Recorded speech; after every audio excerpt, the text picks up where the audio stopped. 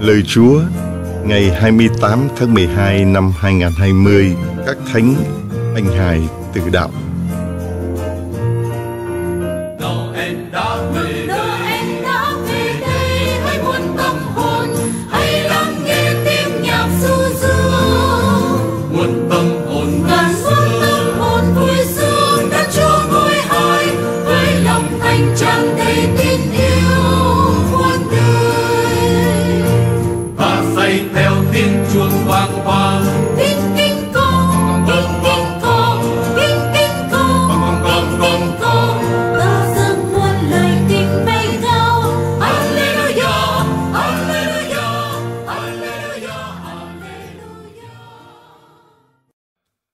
Thưa anh chị em, chúng ta đang sống trong bầu khí hân hoan vui tươi của mùa Giáng sinh.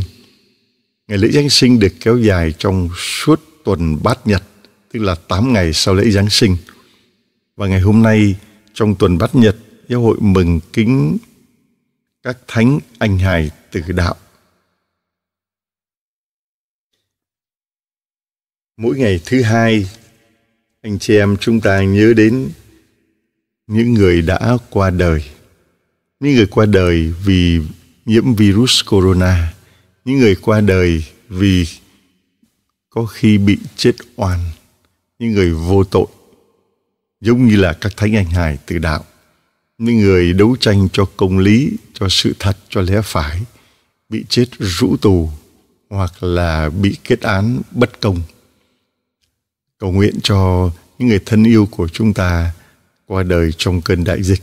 Xin Chúa cho họ về hưởng hạnh phúc bên lòng thương xót của Chúa.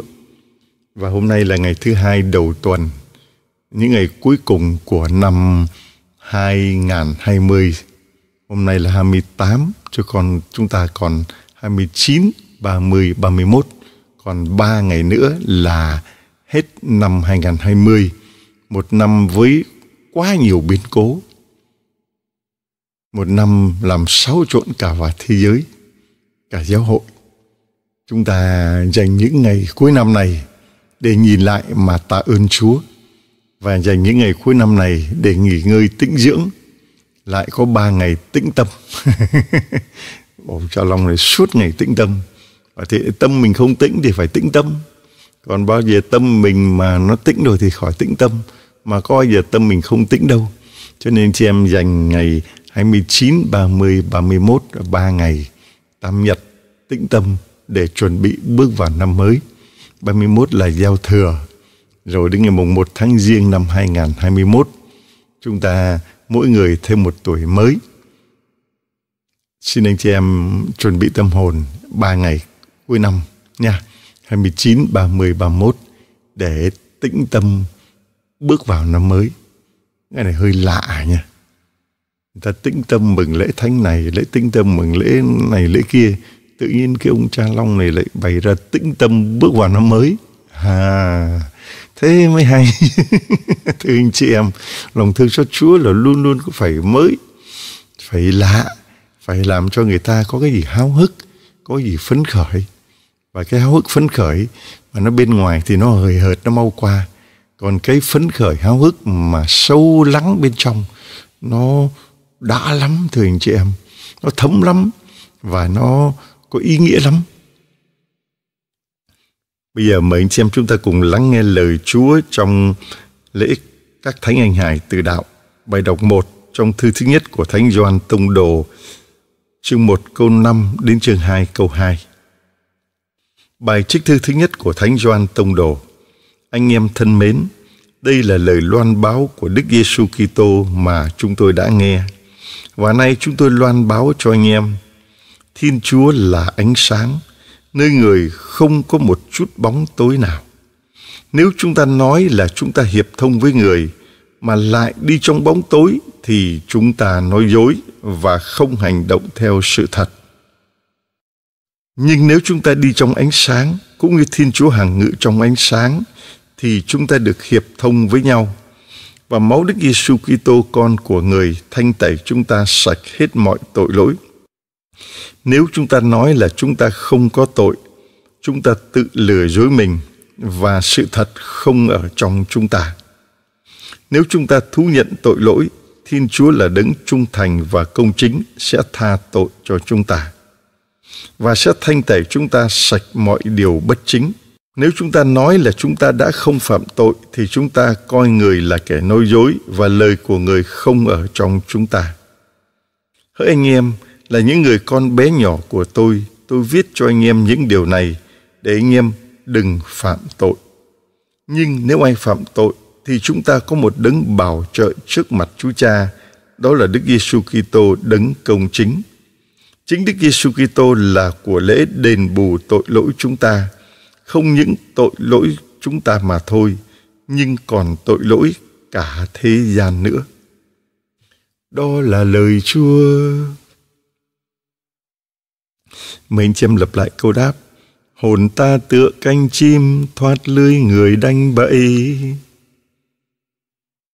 Nếu mà Chúa chẳng đỡ bênh ta khi thiên hạ nhằm ta sông tơi, hắn là họ nuốt sông ta rồi lúc đùng đùng giận ta như vậy.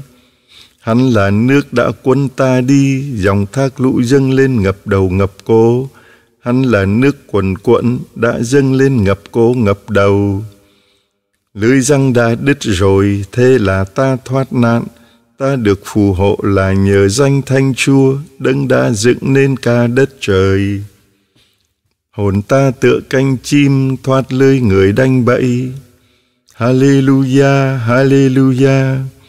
Lạy Thiên Chúa, chúng con xin ca ngợi, hát mừng, tuyên xưng Ngài là Đức Chúa. Lạy Chúa, đoàn tư đạo quang huy hùng dũng, mau đào đổ ra minh chứng về Ngài. Hallelujah. Mời anh chị em mở tin mừng Chúa Giêsu theo Thánh Mắt theo chương 2 câu 13 đến câu 18. Matthew theo chương 2 13 đến 18. Tin mừng Chúa Giêsu Kitô theo Thánh Matthew. theo. Khi các nhà chiêm tinh đã ra về, thì sứ thần Chúa hiện ra báo mộng cho ông Du Xe rằng: Này ông, dậy đem hài nhi và mẹ người trốn sang Ai Cập và cứ ở đó cho đến khi tôi báo lại vì vua Herode sắp tìm giết hài Nhi đấy. Ông Giuse liền trỗi dậy và đang đêm đưa hài Nhi và mẹ người trốn sang Ai Cập. Ông ở đó cho đến khi vua Herode băng hà, để ứng nghiệm lời Chúa phán xưa qua miệng ngôn sứ. Ta đã gọi con ta ra khỏi Ai Cập. Bây giờ vua Herode thấy mình bị các nhà chiêm tinh đánh lừa, thì đùng đùng nổi giận, nên sai người đi giết tất cả các con trẻ ở Bethlehem và toàn vùng lân cận từ hai tuổi trở xuống. Tính theo ngày tháng, ông đã hỏi cặn kẽ các nhà chiêm tinh. Thế là ứng nghiệm lời ngôn sứ Jeremiah đã nói, ở Rama vẳng nghe tiếng khóc than rền rĩ, tiếng bà Rakel khóc thương con mình và không chịu để cho người ta ăn ủi vì chúng không còn nữa. Đó là lời Chúa. Thưa anh chị em, hôm nay chúng ta dừng lễ kính các thánh anh hải tử đạo. Theo sách phúc âm của Thánh ký Matthew, khi Đức Giêsu giáng sinh tại Bethlehem, thì có các đạo sĩ từ Đông Phương tìm đến thờ lạy người. Họ đã đến với vua Herode và hỏi xem có thể gặp được vua Do Thái cũng là đấng cứu thế mới sinh ra ở đây không? Thưa anh chị em, Herode là một bạo chúa độc ác và gian manh cũng như là rất nghi kỵ, luôn luôn sợ người khác chiếm mất ngai vàng của mình. Thường là những ông vua gian ác, độc tài hay nghi ngờ người khác chiếm cái ngai vàng của mình. Nếu một vị minh quân, nếu một ông vua có tài, có đức thì biết rằng mình ngồi trên ngai vàng không phải để bắt người ta phục vụ, nhưng là để phục vụ, là chăm sóc, lo cho người dân, cơm ăn áo mặc, ăn ngon, mặc đẹp, cơm no áo ấm.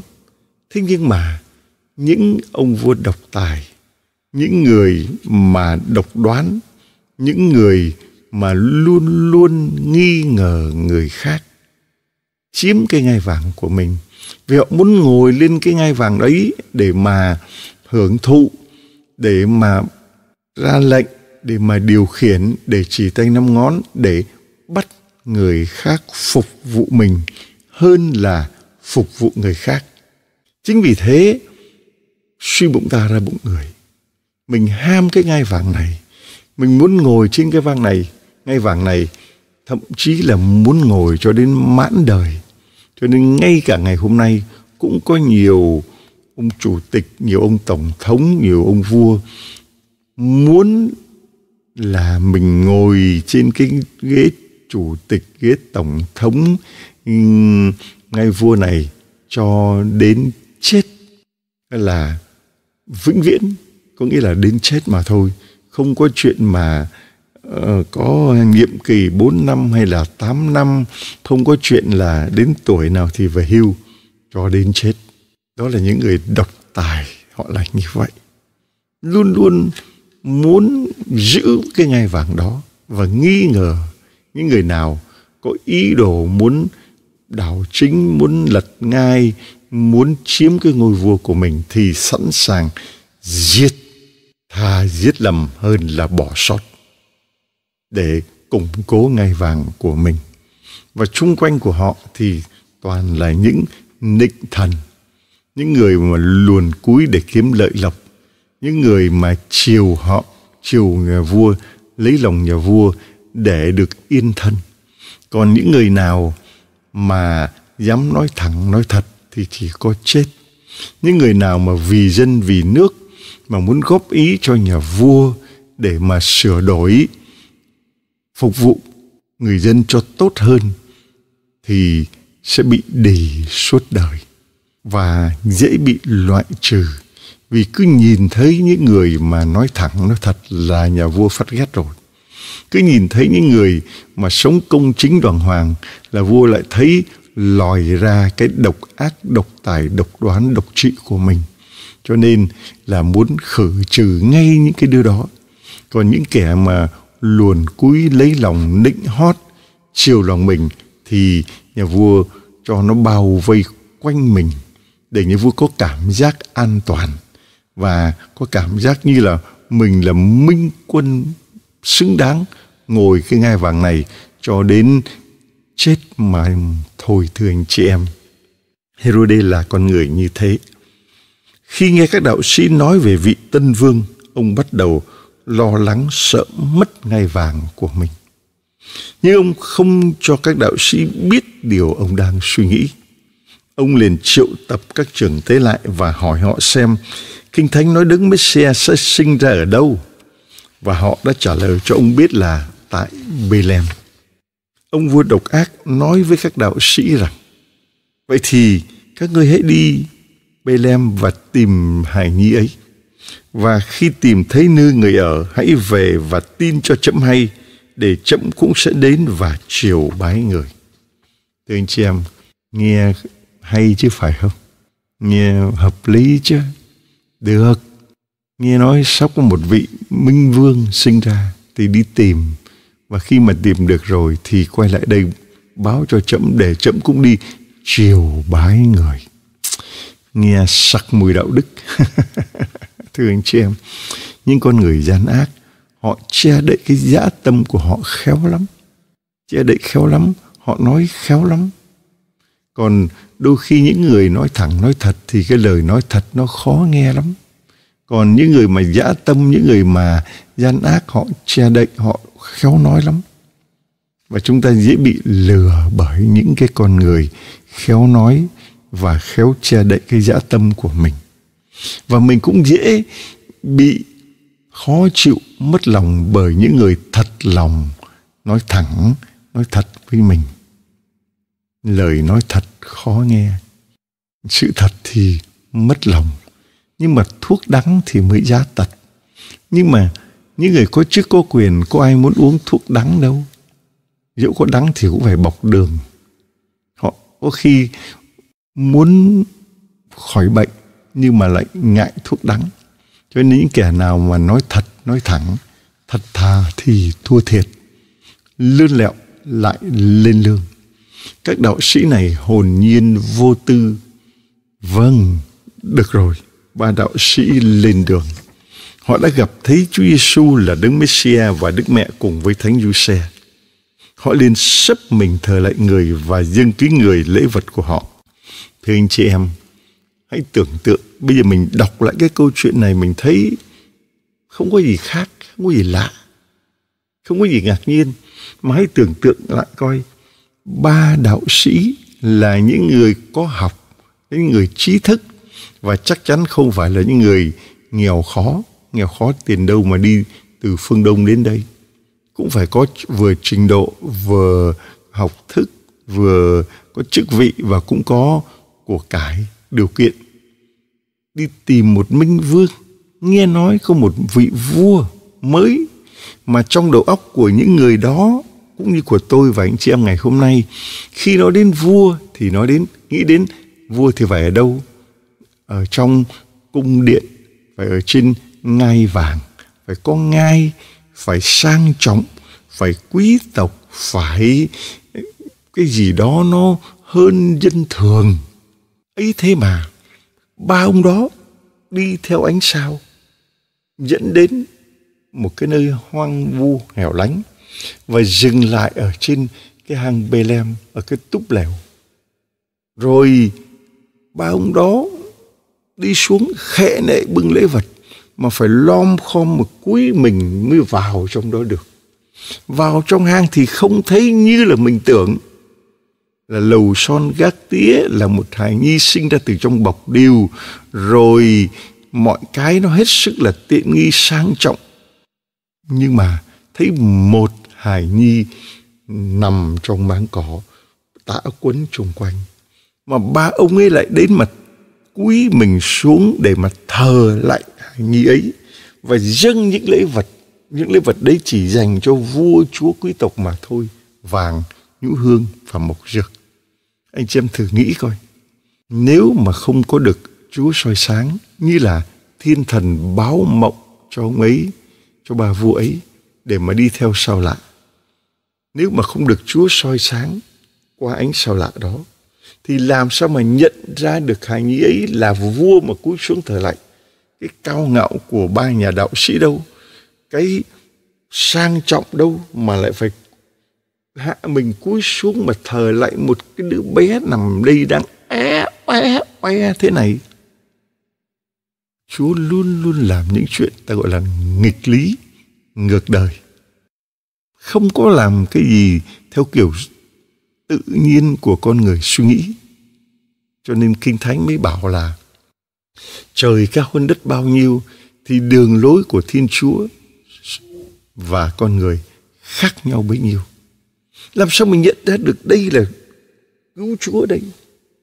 Cũng như là Ai cho người bé mọn này chỉ một chén nước lã thôi? Là trao ban cho chính Chúa, Là giơ tay đón nhận người. Làm sao mà nhận ra rằng là Cái người bé mọn này mình trao cho họ là cho Chúa đây? Làm sao mà nhận ra được, thưa anh chị em? Vì thế, phải có lòng tín thác Mới có thể nhận ra được Tin tưởng vào quyền năng lòng thương xót của Chúa Qua ngôi sao dẫn đường qua báo mộng của thiên thần. Và mỗi người chúng ta ngày hôm nay khi mà đi vào con đường lòng thương xót Chúa cũng là con đường gập ghềnh của ba vua, của các nhà đạo sĩ đi tìm Chúa. Đi vào con đường lòng thương xót Chúa cũng có lúc chúng ta bị lôi cuốn vào những cái thành công bởi những cái rực rỡ bên ngoài để tìm đến với con đường lòng thương xót Chúa bằng con đường thành công, con đường của thế gian, con đường của quyền lực, của danh vọng. Khi đến với Herode phải gặp vua mà hỏi vua chứ? Thế không ạ? Cho nên là muốn được thế này thì phải làm cách này chứ? Phải tìm đến những người có chức, có quyền chứ? Phải cậy dựa, có chỗ chống lưng chứ? Thì mới chắc ăn chứ Chúa nói với Faustina là đừng tìm cậy dựa vào quyền lực của người thế gian. Đừng tìm ăn ủi nơi những người đời. Mà con đường của lòng thương xót Chúa là con đường của đau khổ. Và đi vào con đường gặp đau khổ, thử thách đó thì mới đi đúng con đường của lòng thương xót. Và cái đau khổ thử thách thì nó làm con gần với ta hơn. ba vua và chúng ta ngày hôm nay, những tông đồ lòng thương xót cũng giống như các nhà đạo sĩ đi tìm Chúa. Mình tưởng gặp Chúa ở chỗ này nhưng mà không phải. Mà Chúa con đường của lòng thương xót Chúa là con đường của sự bị loại trừ, bị nghi ngờ, bị hiểu lầm, bị chống đối. Đó. Ba đạo sĩ phải thấy được con người bé nhỏ đó là vua đấy và những anh chị em đi thực hành lòng thương xót Chúa ngày hôm nay như là các anh chị em đã ra ngoài miền Trung trong ba chuyến công tác vừa rồi. Và vừa rồi đi về miền Tây, hai ngày ở đó. Làm những ông già, bà già, cô Noel đến thăm những gia đình nghèo, gia đình khó khăn. Mà trong đó có một anh đi công tác, anh chụp một cái tấm hình. Đấy là hình Đức Mẹ và Chúa Giêsu đứng nhiều lòng thương xót. Nó bị rách nát, bị mối mọt chuột nó gặm mà họ vẫn giữ được cái tấm hình đó dán trên cái vách nhà họ vì dán bằng cơm cho nên là chuột nó gặm thôi, dán nó rấm thôi. Hồi đó chúng tôi tặng những tấm hình đó, chưa có khả năng bọc plastic. Bây giờ thì ép plastic rồi không sợ nữa. Mà những tấm hình đó họ vẫn giữ được như thế. Làm sao mình đến đó vào trong những cái nhà rách vách nát đó mà nhận ra rằng đấy là Giêsu đấy. Giêsu của ngày hôm nay. Điều mà Đức Thánh Cha Francisco nói rằng gặp những người nghèo khổ, đó là Giêsu mà gặp được Giêsu trong những con người nghèo khổ đó, thì lễ Giáng sinh này anh chị em ăn, mừng lễ phải nhận được cái điều đó, phải thấy được cái điều đó. Đó là đến với người nghèo, đến với những người nghèo. Không được ai nhớ đến cầu nguyện cho họ, đến thăm họ là chúng ta mừng lễ Giáng sinh ý nghĩa nhất.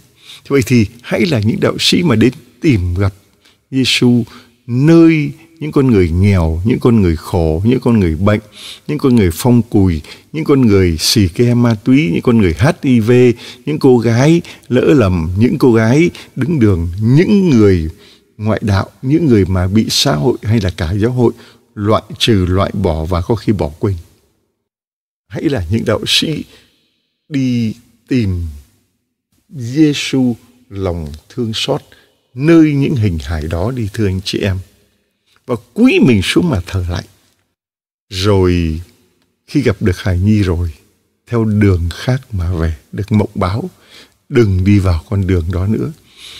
Chúng ta, những người mà muốn đến với lòng chúa thương xót, mình đang là người xì ghe ma túy, mình đang là người ham hố quyền lực, mình đang là người ghen ghét, đang là người ghen tị, đó là đường xưa lôi cũ có bóng trăng thơ tan tan tan tan tan đó là đường xưa lối cũ. Mà nếu anh chị em đến với lòng thương xót Chúa, đến với lòng Chúa xót thương, con tìm được chốn tựa nương. Đến với lòng Chúa xót thương, không chút tơ vương tội lỗi. Tin tưởng vào lòng Chúa xót thương, có ngài hiểm nguy con coi thường phó thác vào lòng Chúa xót thương, có cả một mùa xuân thiên đường. Mà nếu mình đi vào cái con đường lòng thương xót Chúa mà đã gặp được lòng thương xót Chúa rồi thì đừng đi vào con đường tội lỗi, con đường xưa lối cũ, con đường của ghen ghét, hận thù, giận hơn. Rồi con đường của ừ, nói phét, nói xấu, nói hành, con đường của suốt ngày chọc chạch, con đường của sự hưởng thụ, vân vân. Đừng đi vào con đường cũ đó nữa, mà theo đường khác mà về. Theo con đường khác mà đi về với lòng Chúa thương xót, đến với những người nghèo khó. Đấy, thưa anh chị em, bên cạnh đó, đừng quên rằng ta còn những Herode. Khi Herode nhận ra được các đạo sĩ không trở lại với mình, ông rất đỗi tức giận. Ông vốn là một người quỷ quyệt và bạo tàn. Và giờ đây, nỗi sợ bị mất ngày vàng càng làm cho ông thêm quẫn trí. Ông đã sai các binh lính của mình đi sát hại tất cả các con trẻ ở thành Bethlehem từ hai tuổi trở xuống. Hy vọng rằng sẽ giết được đấng Mêsia đang hiện diện ở giữa họ. Và quân lính đã thi hành lệnh truyền kinh khủng này. Có một nỗi đau lớn đã xảy ra trong thành Bethlehem vì các bề mẹ, bà mẹ khóc than những đứa con nhỏ của mình bị sát hại. Các hải nhi hôm nay được giáo hội tôn kính như các thánh tử đạo. các ngài còn được gọi là các thánh anh hài tử đạo thưa anh chị em, khi mà con người có cái sự ghen tức, có cái sự nghi ngờ, có cái sự đố kỵ, thì nó làm mờ hết con mắt lương tâm. Và họ có thể làm bất cứ điều gì để mà thỏa mãn cho cái sự ghen tức, cái sự nghi ngờ, cái sự đố kỵ đó. Đó là ma quỷ, là bàn tay của ma quỷ. Xin chúa cho mỗi người chúng ta hãy có được tấm lòng thương xót tấm lòng của các đạo sĩ, khao khát tìm kiếm chúa cho dù mình có học cao, hiểu rộng bao nhiêu, thì không cậy dựa vào sự hiểu biết của con người, mà cậy nhiều vào sự hướng dẫn của Chúa Thánh Thần qua ánh sao đưa đường. Đừng có cậy dựa vào quyền lực của thế gian nơi những người có quyền lực trên trần gian này như là ba đạo sĩ đã một lần đi vào cái con đường đến với Herode. Nếu Chúa không thức tỉnh, nếu Chúa không xót thương thì sẽ dính vào sẽ dìm mình vào không phải vào đại dương lòng thương xót Chúa mà dìm mình vào nơi những người có chức có quyền để tìm cái giải pháp của nhân loại. Còn khiêm tốn, chân thành, cầu nguyện để Chúa dẫn đường. Mình đi vào cái con đường của lòng thương xót Chúa, đi vào cái chỗ khó khăn, cái chỗ nghèo túng, cái chỗ gập ghềnh, cái chỗ đau khổ để tìm đến hài nhi Giêsu nơi những hình hài đó. Và tìm được rồi thì đi đường khác mà về. Không đi vào cái con đường của ghen tị đố kỵ. Ngày hôm nay có nhiều người chỉ vì cái sự ghen tị vì đố kỵ mà làm bất cứ điều gì để mà, gọi là, đã nê, để thỏa mãn cái sự ganh tức đó, cái sự đố kỵ đó. Thậm chí là làm những cái điều trái với luân thường đạo lý, thậm chí là làm những cái điều trái với sự thật, trái với lẽ phải. Nói gian, nói dối, rồi bỏ vạ, cáo gian, đủ mọi thứ hết. Cái sự thật nó rành rành ra trước mắt đó mà vẫn chối cãi cho nên bài đọc một thánh Gioan nói rằng là nếu chúng ta đi trong ánh sáng cũng như Thiên Chúa ngự trong ánh sáng thì chúng ta hiệp thông với nhau và máu của người Đức Giêsu Kitô thanh tẩy chúng ta sạch hết mọi tội lỗi. Nếu chúng ta nói là hiệp thông với Chúa mà lại đi trong bóng tối thì chúng ta nói dối và không hành động theo sự thật. Những người nói rằng mình tin Chúa, mình theo Chúa, thậm chí là mình giảng đạo Chúa mà mình lại đi trong bóng tối thì mình là kẻ nói dối không hành động theo sự thật.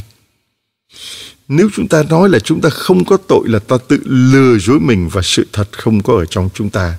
Còn nếu nhận biết mình tội lỗi thì thiên chúa là đấng trung thành và công chính sẽ tha tội cho chúng ta thanh tẩy chúng ta sạch mọi điều bất chính còn nếu chúng ta nói là chúng ta không phạm tội thì chúng ta coi người là kẻ nói dối và lời người không ở trong chúng ta hỡi anh em là những người con bé nhỏ của tôi tôi viết cho anh em những điều này để anh em đừng phạm tội.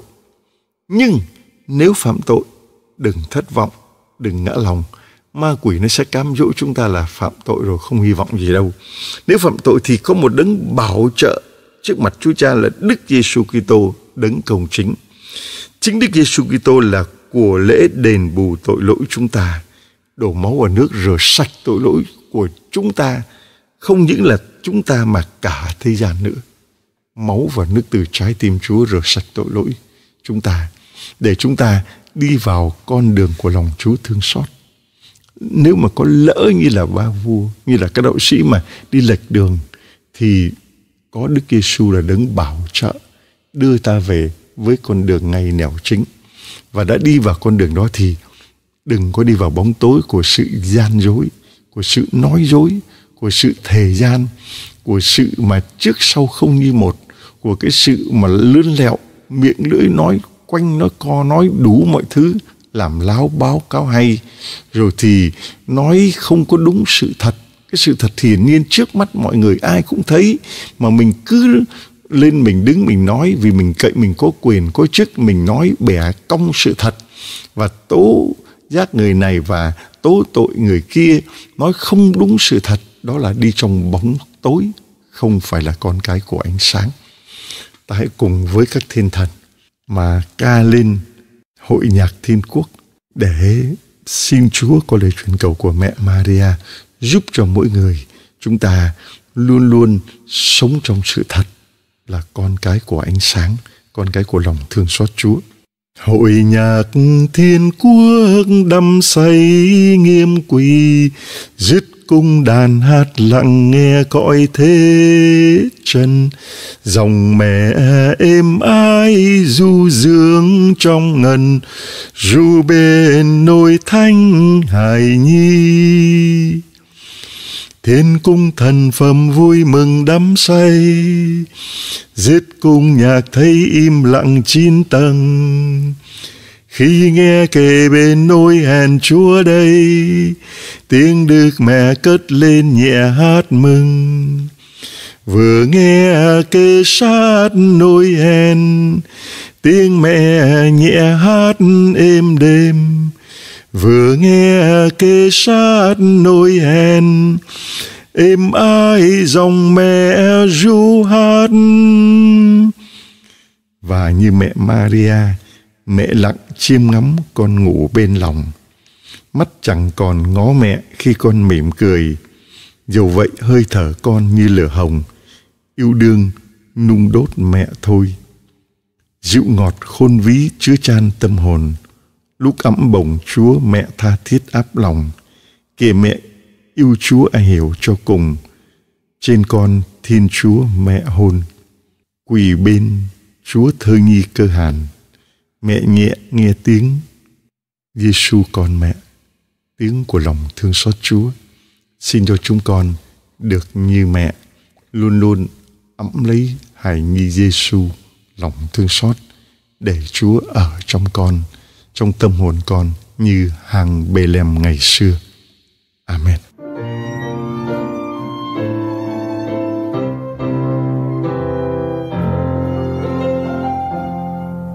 hồn ta tựa như cánh chim thoát lưới người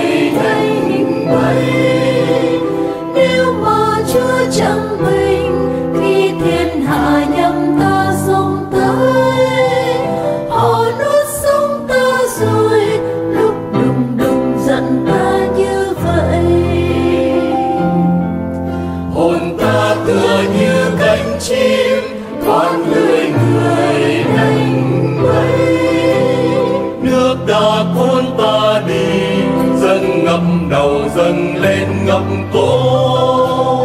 Dòng tháng lũ buôn cuồng dâng ngập cổ và dâng ngập đầu. Hồn ta tựa như cánh chim